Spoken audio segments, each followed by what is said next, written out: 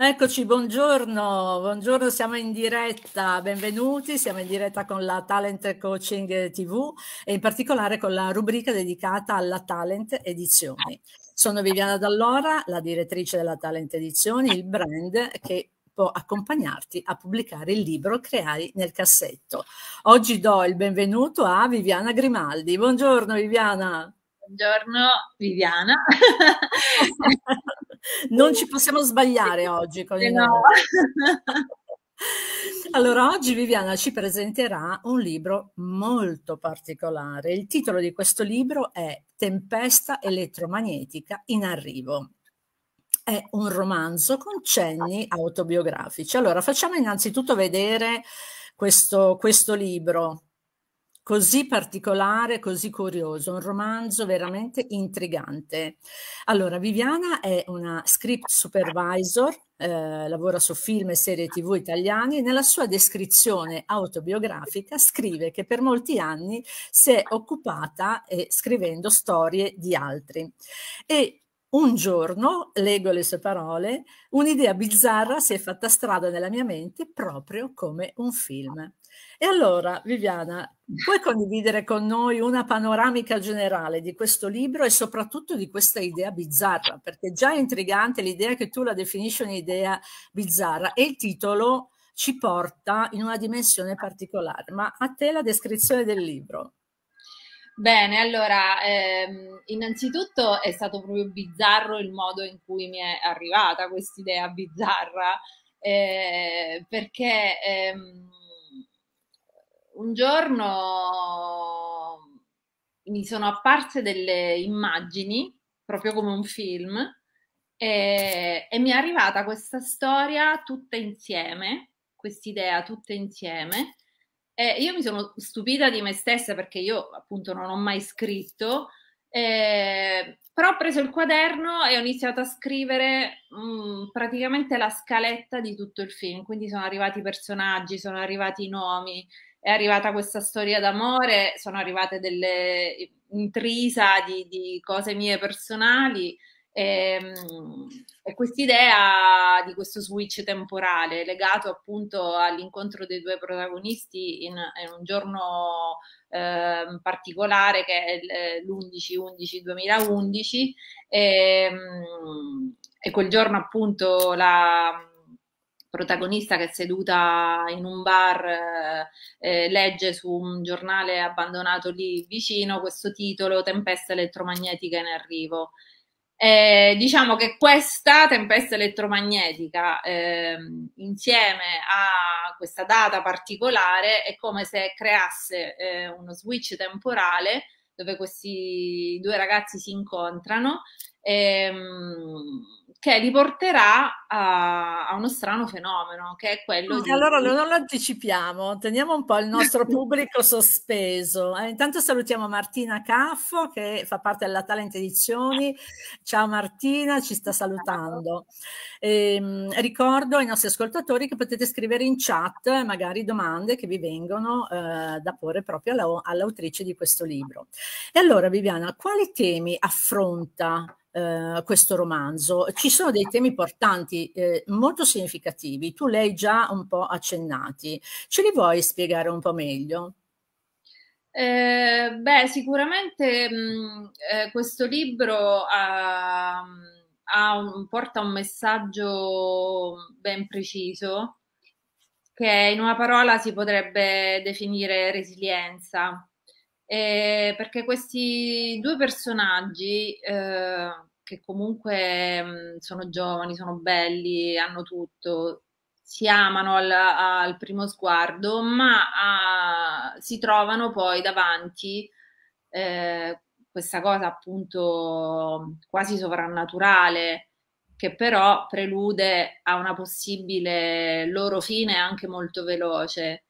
E, ehm, però loro non si lasciano andare a vittimismi, non si lasciano mm, prendere dallo sconforto e eh, portano avanti questa loro visione della vita dove il presente è importante eh, e quindi scelgono di viversi con eh, più intensità possibile ogni giorno che la vita gli regala.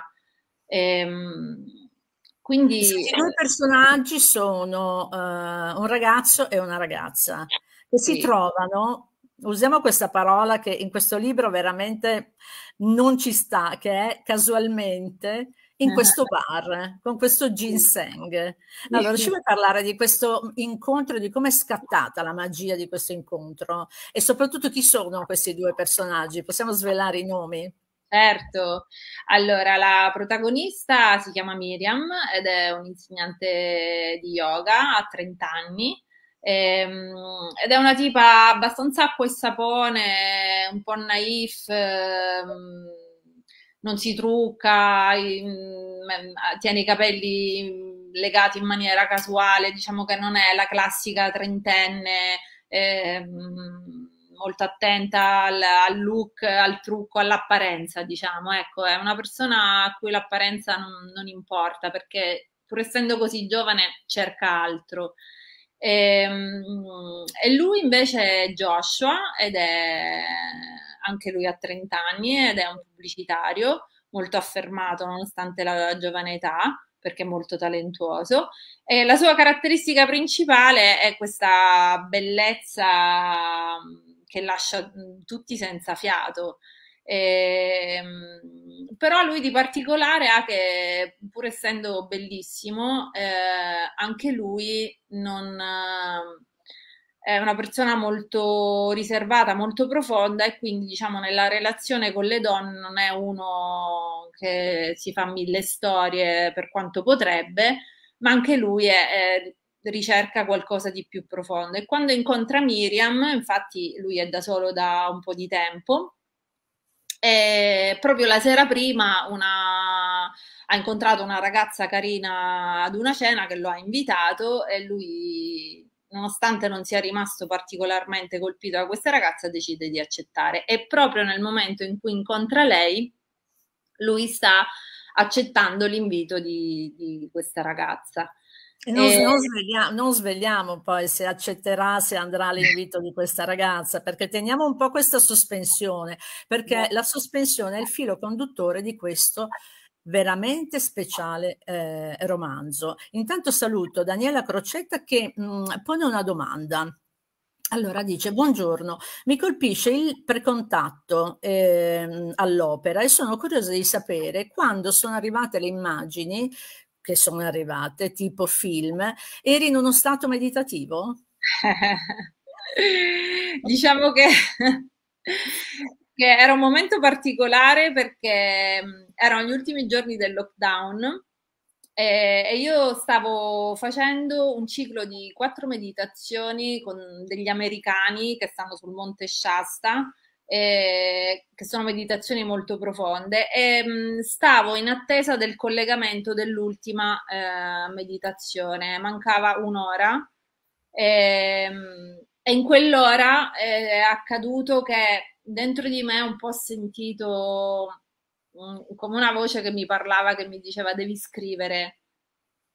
E io rispondevo a me stessa, ma che devo scrivere? Io non ho mai scritto. Ed è come se prepotentemente invece tutta questa vicenda, questa storia, i personaggi, ma anche i personaggi di contorno, tutti i loro amici, sono già arrivati come, quasi come i personaggi in cerca d'autore, che sono arrivati che, prepotentemente dicendomi facci vivere. E quindi sì, ero in uno stato premeditativo, comunque venivo da tre giorni di meditazioni molto potenti, infatti io penso che questa cosa sia strettamente legata a quel momento lì perché evidentemente mh, mm, mi ha portato in una connessione interiore che mi ha permesso eh, di dar voce e spazio a, a, a, questa cosa che evidentemente doveva nascere, doveva venire fuori. Eh, in altri tempi io magari non avrei dato ascolto a questa cosa presa dal mio lavoro, presa da, dalle mie cose. Invece era un momento particolare. Quindi un momento di ascolto profondo che ha favorito questo ulteriore ascolto, questo invito eh, alla scrittura in questo caso. Sì. Ok, Daniela dice capito, grazie della risposta. Allora, mm, ritorniamo ai personaggi del tuo libro. Come li hai sviluppati nel corso della, della storia, della, della, tua narrazione? Quindi inizia questo, iniziano queste, questo turbinio di emozioni, perché è un, un racconto dove queste emozioni si susseguono. Allora, come hai accompagnato i tuoi personaggi? Eh, proprio attraverso queste fortissime emozioni che, eh, che provano, a cui la vita li pone davanti. Eh, allora, innanzitutto, eh, diciamo, tutto il turbinio di emozioni che riguarda il loro incontro c'è molto di mio per una cosa che è accaduta a me, chiaramente in condizioni diverse, tutto romanzato, però la descrizione di quello che loro sentono è, è, è una cosa mia personale. Ehm, eh, quello che, che mi piaceva tanto era raccontare questa storia d'amore perfetta, che è quella a cui tutti un po' aneliamo, no? E visto che nella realtà non è semplice che questa cosa accada, mi, mi apriva il cuore eh, raccontare la perfezione di questo incontro, di queste due anime comunque predestinate a incontrarsi, che si riconoscono, perché in realtà il loro è, è un riconoscimento vero e proprio, non lo capiranno subito, ma solo in seguito. E, ehm, e quindi eh, per me era importante eh, che queste due persone continuassero ad amarsi eh, conoscendosi, eh, amandosi subito in maniera profondissima, eh, che, che, questa cosa rimanesse costante per, per tutto il film mi è stata... Li hai accompagnati in questa, in questa loro sì. storia d'amore, sì. eh, alimentandola, no? attraverso le tue parole, questa storia d'amore si alimenta pagina dopo pagina. Si struttura anche. Sì, sicuramente. Ehm, e, e, quindi sì, loro diciamo che non possono fare a meno di stare insieme, cioè sono eh, due persone che, che, man mano che si va avanti nella lettura si trova assolutamente naturale. Ehm, che si amino. Non so, a me, a me, scrivere, anche rileggere di queste due persone che si amano in questo modo, in qualche modo dà speranza, non so come dire, che, che, mm, che ci siano anime destinate a incontrarsi e ad amarsi. Eh, in questa maniera così estemporanea, così fulminea, ma appunto non casuale, come dicevi tu, assolutamente invece non casuale.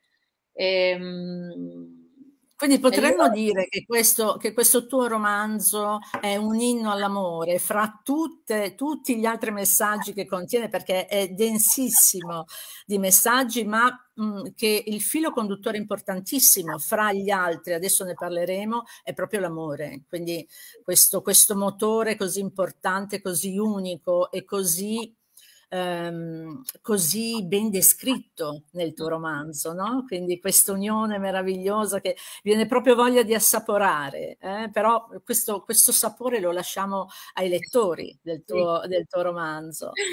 Senti Viviana, ehm, nel tuo romanzo, come accennavi prima, ci sono eh, simboli e elementi un po' misteriosi, eh? per esempio come questa tempesta elettromagnetica che cos'è questa? Perché non tutti magari possono aver percepito il senso di questa, di questa definizione. Che cosa è successo? Che cosa significa per te e che cosa significa per il tuo romanzo questa tempesta elettromagnetica? E soprattutto questi numeri, quindi tu fai dei riferimenti chiari al potere della numerologia e del, di, della simbologia che sta dietro a tutto questo. Ci vuoi raccontare un po'? Puoi dare qualche indicazione in più per i lettori che magari, sia per quelli che conoscono tutto questo, ma soprattutto per chi non conosce questi aspetti così intriganti, così importanti? Allora, la tempesta elettromagnetica per me appunto simbolicamente rappresenta un momento in cui tutto diventa possibile, in cui mh, mm, come se varie linee temporali si aprissero E, ehm,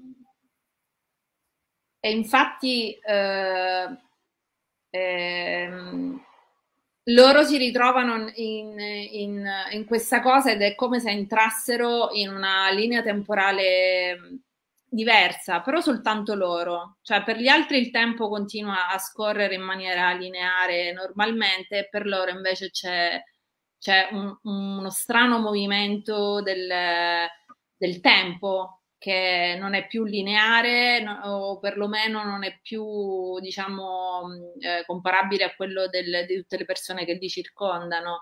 E, ehm, e quello della numerologia, sì, eh, anche quella è una data che mi è venuta totalmente in maniera spontanea, non l'ho scelta, non l'ho decisa. E, ehm, e la numerologia non riguarda soltanto la data del loro incontro, ma anche eh, la loro data di nascita, perché i due personaggi che hanno moltissime cose in comune scoprono di essere nati lo stesso giorno, che è l'1-1-1981, a luna di notte. Quindi ehm, è come se appunto le loro anime avessero scelto di incarnarsi nello stesso giorno, avessero progettato di eh, ritrovarsi 30 anni, all'età di 30 anni, eh, proprio in questa data molto forte. L'11-11 poi è un portale, uno dei portali più potenti che, che esistono, quindi eh, mi piaceva che questa cosa del portale unita alla tempesta elettromagnetica in arrivo rendesse possibile questa cosa un po' fantasy di questo tempo che per loro comincia ad andare in maniera diversa. E, ehm, e che li, li trova ovviamente impreparati, infatti loro all'inizio sono anche un processo, forte processo di rimozione perché la loro mente dice che non è possibile che per loro il tempo stia andando così avanti. Arriva poi un punto invece in cui è evidente e quindi devono cominciare a fare i conti con questa cosa ed è lì che viene fuori la loro resilienza, la loro forza. Eh, la loro richiesta agli altri di non abbattersi, di non addolorarsi, ma di continuare a circondarli di amore e di affetto, eh, perché se effettivamente la loro vita si sta così accorciando, eh, è importante eh, viverla eh, nel migliore dei modi. E quindi tutte le persone intorno a loro si adeguano a questa resilienza mettendo da parte le loro paure, eh, la loro ansia, e sono tutti più o meno bravi a eh, rimanere mm, sereni. Poi loro hanno di bello che sono molto ironici su questo, quindi continuano sempre a fare dell'ironia rispetto a tutto ciò che gli sta succedendo. Quindi per me questo era un, un messaggio molto importante per arrivare poi a, a dire a, la mia visione, a raccontare la mia visione della vita e della morte, che la morte non esiste, che le anime continuano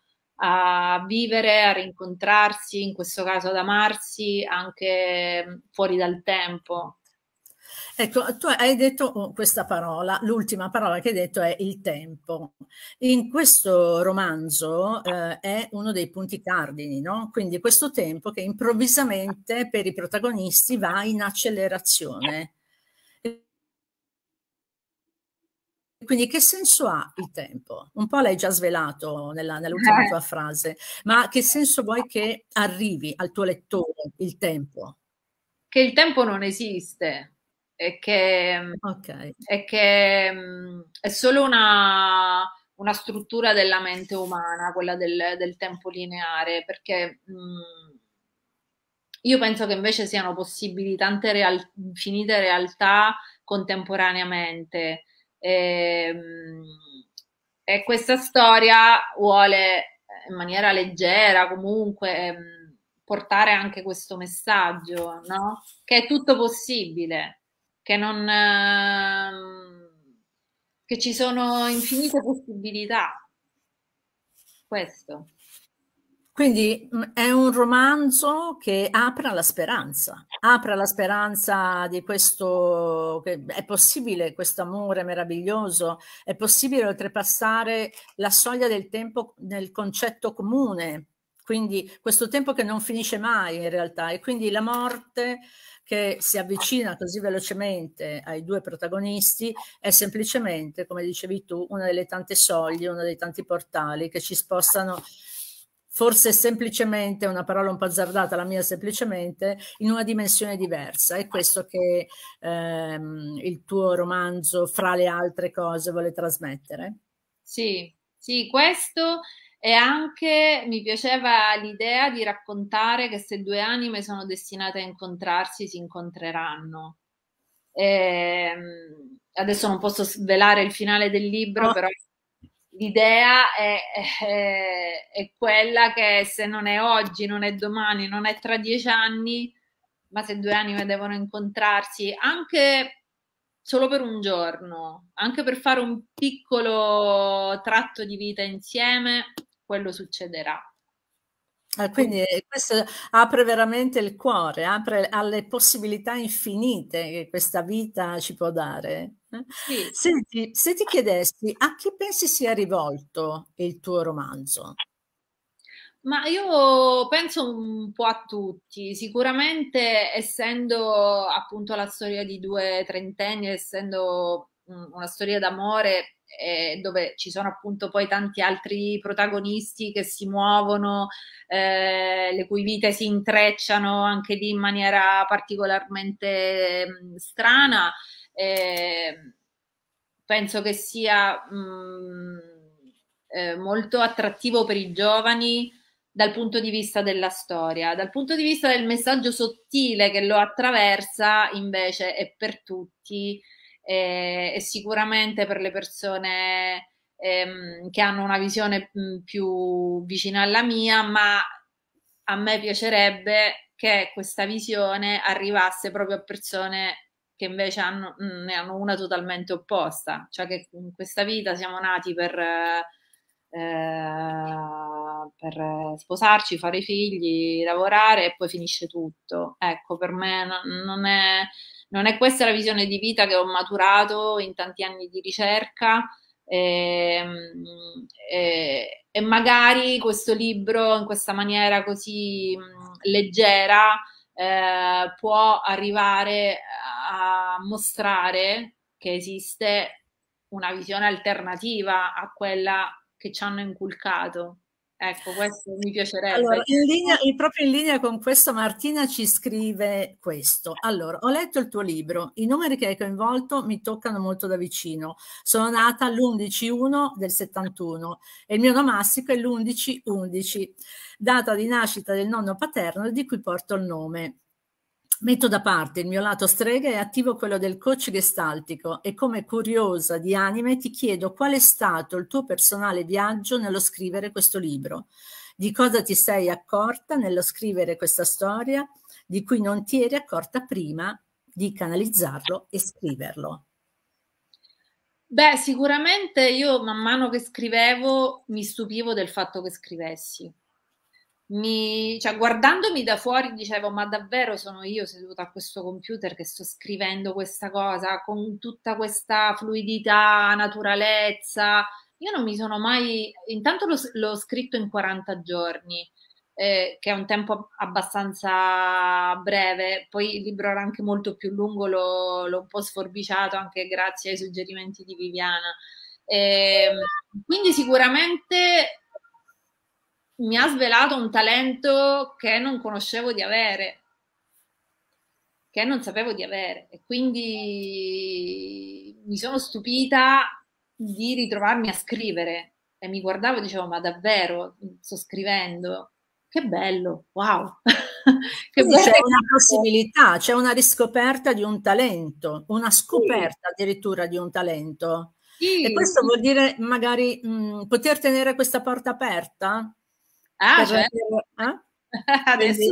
proprio sulla scrittura, perché è una fra le cose, fra le domande che ti vorrei fare proprio questa, cioè hai incontrato delle sfide particolari o dei, de, nei tuoi momenti di ispirazione? No, devo dire di no, è andato tutto molto liscio e soprattutto mi divertivo e, e la cosa incredibile è che mi emozionavo con i personaggi, ridevo con i personaggi, ho pianto mentre scrivevo una scena, piangevo, quindi io ero in totale mm, connessione con, con i personaggi. Ehm, e questo per me è stata una cosa, una scoperta bellissima perché è stata un'esperienza nuova. E, ehm, e non è stato per me mettermi lì, ogni tanto vedo nei, li, nei film no, questi scrittori che hanno le crisi, che stanno lì, che buttano fogli, eh, che non gli arriva l'idea. Mm, per me è stato l'esatto contrario. Sono stata in un flusso scritto tutti i giorni, con, divertendomi tantissimo e, e, e, felice di riconoscere la, la, l'espressione di questo nuovo talento in me. Quindi... No, questo è meraviglioso, quello che ci stai dicendo è meraviglioso perché davvero può servire anche a chi ha il famoso libro nel cassetto e non trova il momento giusto perché eh, pensa a quelle immagini eh, proprio tratte dai film in cui ci sono tutti questi fogli, questi appunti. Um, in realtà dai veramente il messaggio che, come la Talent Edizioni dice sempre, prova a tirar fuori quel libro nel cassetto mh, mm, lasciati fluire, lascia che le emozioni arrivino. Quindi grazie per questo tuo messaggio. Allora, noi siamo quasi alla fine di questa nostra chiacchierata, è volata in questo modo surreale, esattamente come il tuo romanzo. Ah, eh, siamo andati in accelerazione temporale. C'è qualcosa che eh, non abbiamo detto e che invece vorresti raccontare al tuo, al tuo pubblico, a, a chi leggerà il tuo romanzo? Mm, no, per non svelare troppo non saprei. Sicuramente c'è tanto di me eh, e anche delle mie esperienze in quelle che sono le loro mh, mm, esperienze spirituali. Quindi c'è un viaggio sciamanico che per me è stato bellissimo scrivere. Eh, perché appunto eh, parti personali poi sono andate totalmente invece a, a giocare con elementi totalmente inventati e, e, devo dire che inventare cose mi piace moltissimo. Quindi un talento nel talento. Sì, è molto facile scrivere eh, soltanto di, di, esperienze personali. Per esempio i personaggi non hanno, hanno delle cose che riguardano me, ma caratterialmente nessuno dei due poi più di tanto mi somiglia cioè se non negli interessi, se non eh, ti piace la carbonara, non so, o... però in realtà sono definiti in, maniera totalmente mh, fantasiosa e quindi questo per me è stato molto divertente perché l'immaginazione ha avuto libero sfogo e poi alla fine ha creato dei personaggi anche molto delineati e quindi insomma questa okay. è. Viviana, eh, un'ultima domanda. Che cosa, e che è la nostra classica in chiusura di questa rubrica, che cosa consiglieresti, suggeriresti a chi ha quel famoso libro nel cassetto e ancora non, ha, non lo ha tirato fuori? Per, per allora, l'esperienza che hai avuto con la sì. talentazione e con la tua scrittura. Sì, la mia esperienza appunto è stata che io ho scritto il libro tre anni fa e ovviamente l'ho mandato a tutte le case editrici possibili e immaginabili senza avere risposta. Poi ogni tot ci riprovavo finché a un certo punto ho detto vabbè, eh, non so se avrò dovuto scriverlo per leggerlo soltanto io, o... Però questa cosa mi stonava perché proprio la mod- modalità in cui mi è arrivato, eh, secondo me, eh, rimandava anche al, al fatto di divulgarlo. E, e, poi casualmente tramite un'amica sono entrata in contatto con Viviana che eh, mi ha dato questa possibilità dopo appunto più di due anni che, che l'avevo scritto. E, ehm, e, la cosa per me molto bella è stata che ne, nello scambio eh, mi ha aiutato con le sue indicazioni a eh, a, a mettermi eh, quasi in posizione esterna, rileggerlo e capire cosa effettivamente non funzionava. E quindi ho lavorato in maniera mirata e anche molto veloce su quelle cose e alla fine devo dire eh, che magicamente eh, è, è diventato più scorrevole e più fluido. Quello che consiglio a chi ha un libro nel cassetto è di lasciarcelo per un tot e poi di riprenderlo dopo sei mesi, eh, perché bisogna allontanarsi un po' dal, da quello che abbiamo scritto per poter essere più neutrali e più oggettivi possibile quando poi lo rileggiamo. Io l'ho sempre cambiato. Questo è lo sguardo dell'osservatore quindi staccare esatto. da tutto quello che è stato. Bene, Viviana, allora io ti ringrazio. Ricordo che la Talent Edizioni eh, pubblica libri eh, di mh, mm, persone che hanno qualcosa da raccontare, qualcosa da, ehm, da descrivere. Come ci diceva Viviana nella sua intervista, eh, nella scrittura ha scoperto un talento e nel talento ne ha scoperto un altro. Ecco, la Talent Edizioni eh, fa anche questo. La Talent Edizioni eh, è fatta da me, ma anche da un comitato editoriale che eh, proprio si prende cura eh, degli autori eh, segnalando eh, dove e come si possono muovere per una scrittura più fluida. Ringrazio Viviana Grimaldi, facciamo rivedere il tuo libro Viviana.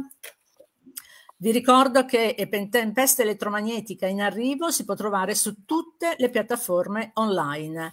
Eh, saluto Viviana, saluto i nostri Ciao, ascoltatori e vi do appuntamento al prossimo incontro con la rubrica della Talent Edizioni che sarà il 15 novembre ma con una novità, non sarà più alle 12.30 ma alle 19.